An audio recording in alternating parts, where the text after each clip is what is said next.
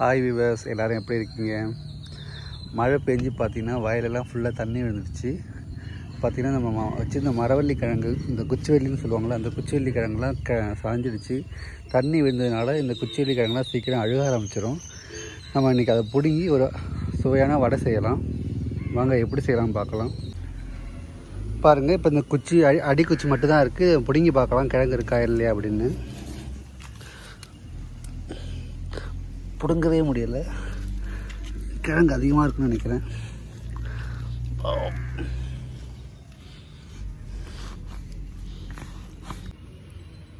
பாருங்கள் கட்டையை பிடிங்கி வைப்போம்.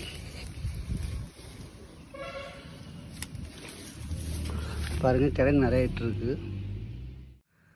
எப்படியோ தனியாலா எல்லா கிழங்கையும் பிடிங்கிட்டேன். பார்த்தீங்கன்னா ஒரு பத்து கிலோ இருக்கும் போது கிழங்கு. அந்த அளவுக்கு கிழங்கு இருக்குது நான் இந்த அளவுக்கு எக்ஸப்ட் பண்ணவே இல்லை. இந்த கிழங்கெல்லாம் வச்சு உங்களுக்கு நான் வடை சுட்டு காட்டுறேன். வாங்க வீடியோக்குள்ளே போகலாம் பாருங்கள் இந்த கிழங்கெல்லாம் தோல் உரிச்சு எடுத்துட்டோம். இது எப்பவுமே துருவிக்கலாம்.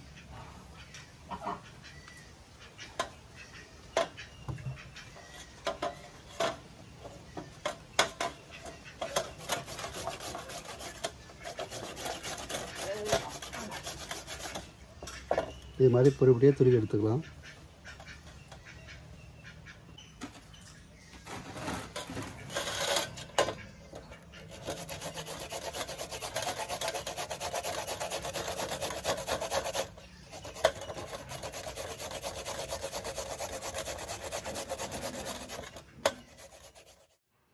பாருங்கள் இதெல்லாம் துருவி எடுத்துக்கிட்டோம்.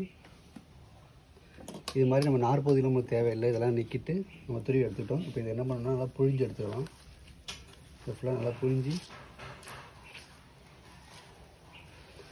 தண்ணி இல்லாமல் புழிஞ்சிடணும்.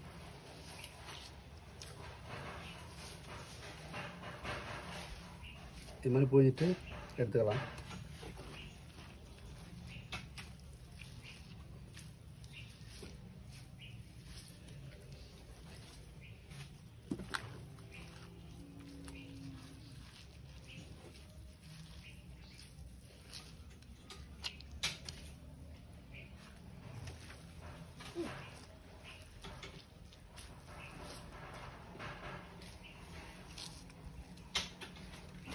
பாருங்கள் நம்ம எல்லாத்தையும் புழிஞ்சு எடுத்துக்கிட்டோம். இப்போ இதில் கிரைண்டரில் போட்டு அரைச்சி எடுத்துக்கலாம் தண்ணி ஊற்றாமல் இதுக்குன்னா ஒரு ஐம்பது கிராம் ப காஞ்ச மிளகா எடுத்துக்கேன் அதையும் சேர்த்து நல்லா நைஸாக அரைச்சி எடுத்துக்கலாம். தண்ணி கொஞ்சம் கூட ஊற்றாதீங்க தண்ணி ஊற்ற ரொம்ப தண்ணியாக போயிடும். அப்புறம் வடை செய்ய முடியாது ஒழுங்காக இப்போ நம்ம நைஸாக கிரைண்டரில் போட்டு அரைச்சி எடுத்துக்கலாம். பாருங்கள் நம்ம அந்த கிழங்குல புழிஞ்சு எடுத்தோம்னா அந்த பாலை வச்சுருக்கேன். இதில் நான் உங்களுக்கு அல்வா செஞ்சு காட்டுறேன். எப்படி அல்வா செய்யலாம்னு. ஆ, நான் இரநூறு கிராம் வெங்காயம் எடுத்திருக்கேன்.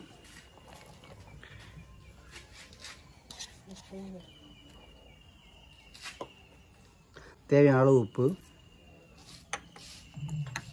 நறுக்கின கருவேப்பிலை. ஒரு டேபிள் ஸ்பூன் சோம்பு பொடிச்சு வச்சுருக்கேன். அதையும் இதில் ஆட் பண்ணிக்கும் இதெல்லாம் சேர்த்து நல்லா பிசைஞ்சிக்கும் ஃபஸ்ட்டு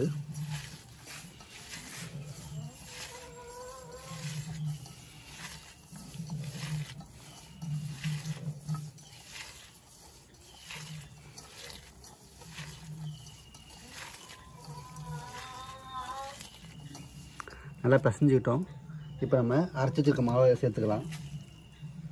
பாருங்கள் நம்ம மிளகாவும் மரளி கிழங்கும் நம்ம அரைச்சி சின்னதாக சேர்த்துக்கிறேன்.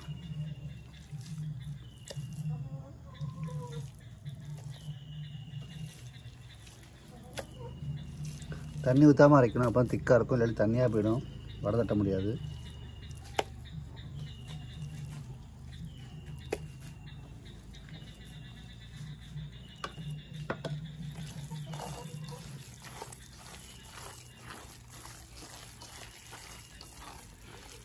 பாருங்கள் இந்த அளவுக்கு நைஸாக அரைச்சிங்க. அப்போ தான் நல்லா வடதட்டுறதுக்கு நல்லாயிருக்கும்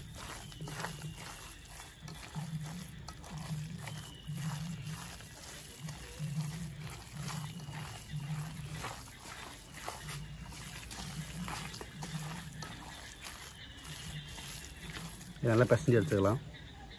வாங்க இப்போ வடையை பொறிச்சு எடுத்துக்கலாம்.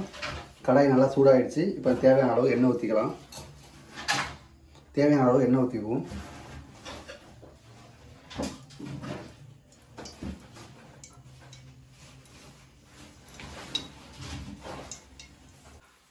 பாருங்கள் எண்ணெய் நல்லா சூடாயிடுச்சு இப்போ நம்ம வடையை தட்டி எடுத்துக்கலாம். நான் இதுமாரி ஒரு வாழை இலையை தட்டிக்கிறேன். குட்டி குட்டியாக தட்டிக்கிறேன். வடை தட்டும் போது எப்போதுமே லோ ஃப்ளேமே வச்சுங்க. எதனாலன்னா நீங்கள் ஒவ்வொரு வடையும் தட்டி போடுறது கொஞ்சம் லேட் ஆகும். நீங்கள் ஹை ஃப்ளேமில் வச்சுருந்தீங்கன்னா ஃபஸ்ட்டு உள்ள வடை நல்லா வெந்துடும். அப்புறம் போடுற வடையெல்லாம் வேகாது. அதனால் எப்போதும் லோ ஃப்ளேம்லேயே வச்சு வடை தட்டி போடுங்க.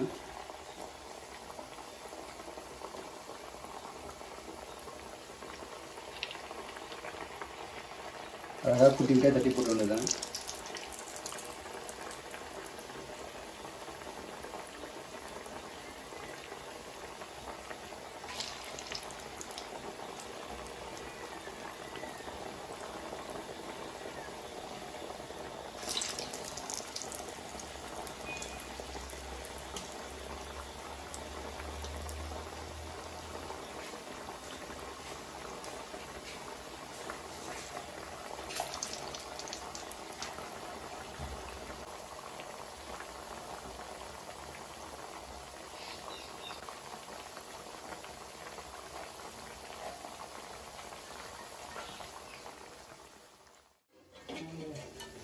பாருங்க இப்போ எல்லா வடையும் திருப்பி விடலாம். அந்த வடையெல்லாம் நல்லா பொன்னிறமானும் எடுத்துக்கலாம். இது மற்ற வடை மாதிரி இல்லாமல் கொஞ்சம் வித்தியாசமாக இருக்கும். நீங்கள் உங்கள் வீட்டில் ட்ரை பண்ணி பாருங்கள் கண்டிப்பாக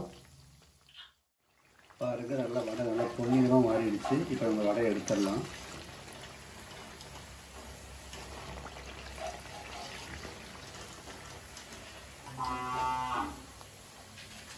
இதே மாதிரி மற்ற பேஜெல்லாம் போட்டு